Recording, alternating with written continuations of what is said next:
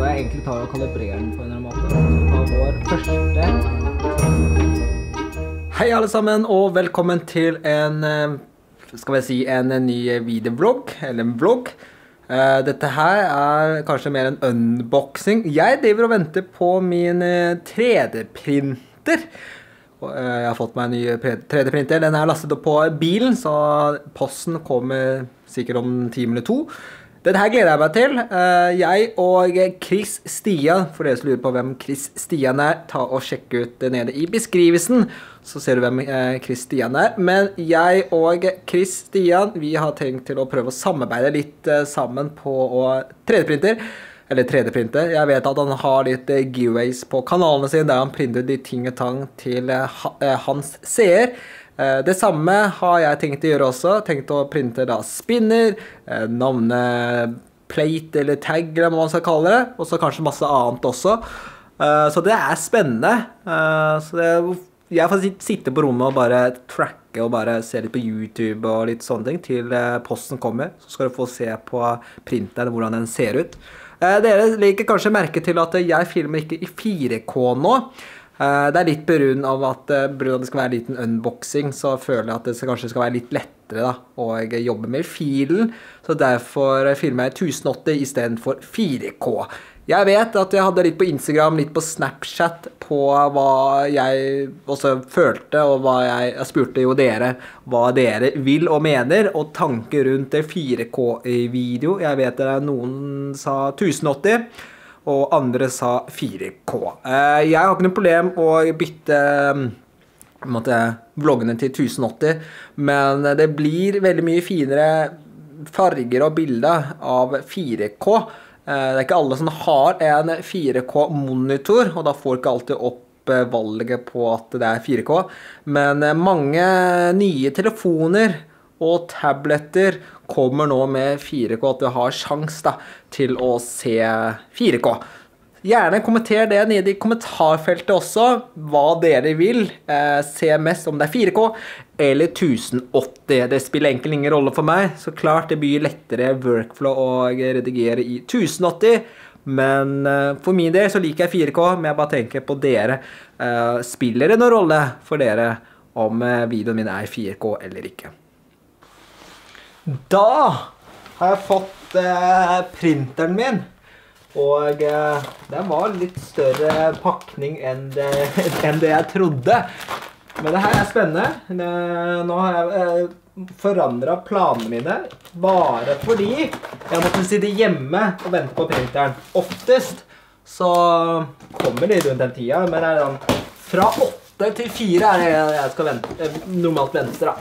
Så det første jeg ser oppi denne her pakningen, er da litt eh, guide, eh, manual, som dere ser her.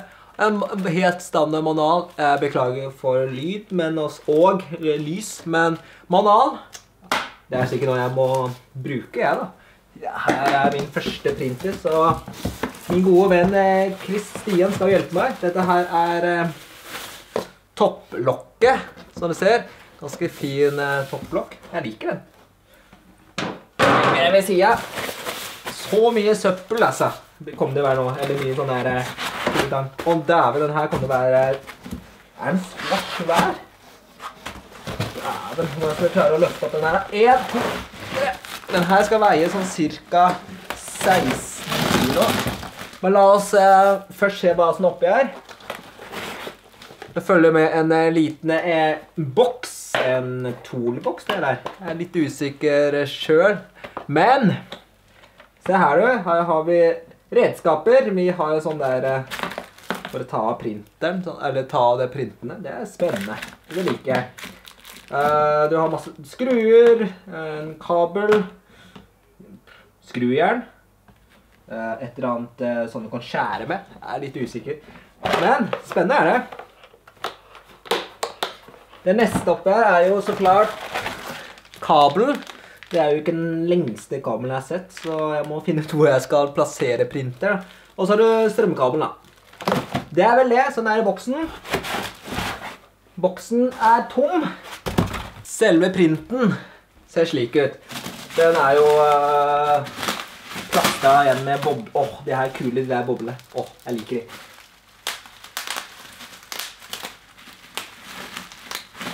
Åh, det er så deilig lyd. Jeg digger lyden. Men jeg skal ikke leke med den. La oss eh, rive av eh, plastikken. Jeg fikk Det ser, rett og slett ut som en eh, forvokst mikroovn. Skal vi se på åten. Her fikk jeg print sikkert eh, Chris Stian, det. Der. Se der, du. Fancy-pansy. Den er litt tung, da. Så jeg spørs om du får sett uh, her. Her har du døren. Gjennomsiktig dør. Med magnet. Ja, den er uh, Det er ikke så stor er, altså, det er stor nok plate. Og det følger med ja, det følger med greier. Dette er spennende. Skal vi se hva det er eh, Jeg vet at det oppi her så ligger litt deler. Vi har de her som skal på siden av printeren, hvis du ønsker å ha tingene utenfor. Er en sånn liten eh, adapterting som skal gå inn i hodet, ekstruderen. Det er vel det, og så har du da hodet som ligger her. Jeg tenker at jeg eh, tar og setter den på plass. Setter den sammen, og så skal jeg vise dere litt etterpå hva som var i printeren. Så der, da har vi installert den. Jeg har ikke satt inn strøm ennå, men jeg har satt på hodet der. Eh, to skruer under. Så har vi da en sånn liten ventil. En skrue på siden. Så har vi to sånne plastikkting. En der og en der. Så har vi da sånn plastikk- plastikkting, heter det kanskje, som stikker igjennom der, som fester mot selve plastikken. Eh, nå tror jeg egentlig at alt er som det skal. Uh, det gjør egentlig å tenke på hvordan jeg skal gjøre med ledningen, for det er veldig mye leninger. La meg prøve å finne ut av det, og så tar jeg og skrur den på. Kanskje ikke den beste plasseringen, men la oss fyre opp her. Flash Force Print. Oh, det lager lyd. Eh, dette, nå skal vi ta og kalibrere den. Eh, det tar litt tid, så jeg får ikke gjort det på, på camet. Men vi kan ta og gjøre sånn. Så nå skal jeg egentlig ta og kalibrere den på en eller annen måte. Så skal vi ta vår første testprint. Det gleder jeg meg til. Så la meg kalibrere den. Og så skal vi ta og se på den. Skal jeg ta forresten og putte på lokket. Eh, oi, oi. Mikrofonen står litt i veien, som du ser, men eh, sånn er det. Det får gå greit. Her er vi lokket. Jeg putter den oppå der? Det er som å putte på en eh, kjøle... Det er sånn fryselokk. Det virker sånn her. Eh, nå får ikke jeg satt den på med én hånd der, kanskje. Kanskje der, ja. Så presser vi. Åh, fancy pansy. Så da har jeg noe å se på. Jeg håper bare ikke det bråker skikkelig når den eh, holder på. her. Det er eh, et eh, godt spørsmål. Så det var 3D-printeren. Skal dere få se hvordan printen ser ut hvis jeg får printa det. Vi får, vi får se. Jeg må teste det ut. Der var det mikseren, forresten. Nå er det veldig mye rot der, så jeg må ta og rense opp disken min. Så det skal jeg få til. Min første print er på vei. Jeg driver og egentlig printer en sånn der SD-kortholder til minnekortene mine. Bråker ikke så veldig mye eh, som jeg trodde den skulle gjøre. Og den gjør en ganske decent jobb, virker det som, hvis du ser der. Og så står det her nede at eh, Jeg vet ikke om det er i fokus, men det er ca. 6 minutter. 2 Oi, hva gjør den nå? Å ja, nå fyller den ut. Spennende. Det her er eh, Dette er gøy, altså. Å ja. Og Hva gjør du nå av det? Legger du på forskjell layer over eller forsterker du, eller hva gjør du? Jeg vet ikke. Men uansett, da. eh, Dette her er 3D-printeren. Eh, Det er en eh, Dreamer, en eh, Flashfort Dreamer. Eh, Christian har en annen utgave av det. Han husker ikke helt hva hans utgave er, men han har en også. Og eh, programmet bruker ser jo eh, slik ut. Eh, sånn ser programmet ut. Så det er det, da ser du hva den driver på med. Det er ganske kult at du kan se eh, hvor langt den har kommet, på en måte. og hva neste steg er, da. Det liker jeg. Så det gjenstår nå å se hvordan kvalitet det blir. Eh, jeg driver også designer eh, spinner, så det blir morsomt å se om jeg kan faktisk eh, printe en sånn en etter hvert også.